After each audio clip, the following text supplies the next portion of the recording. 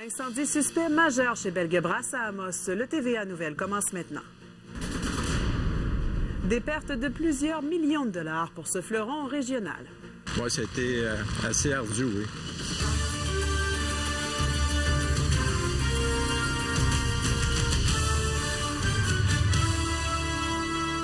Bon début de soirée, mesdames, messieurs, et bienvenue au TVA Nouvelles.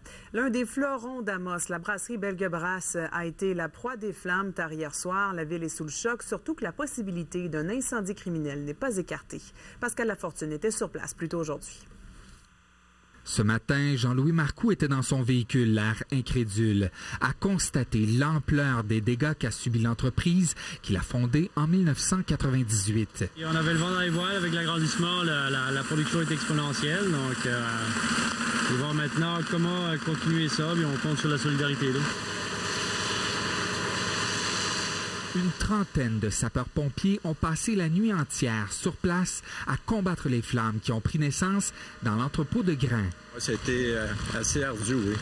L'incendie, euh, aussitôt qu'il a été déclaré, euh, s'est propagé d'une façon assez, assez vite. On est content, mais en parenthèse, on n'est pas content de l'incendie, mais on est content d'avoir sauvé les, agrandissements en tant que tel. La partie avant, c'est un agrandissement neuf. Et en arrière, l'entrepôt en tant que tel n'a pas été touché par l'incendie. Il y a eu de la fumée puis de l'eau.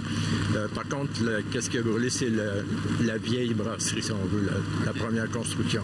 Le maire est hors de la ville pour la semaine son suppléant est venu offrir son appui. C'est extrêmement attristant. Là. Écoute, on a eu le gala élite justement samedi. Puis euh, il y a un des récipiendaires, euh, la petite bouteille pour ne pas le nommer, qui distribue les produits Belgabras, entre autres, euh, qui, soulignait justement l'importance de l'entreprise en question.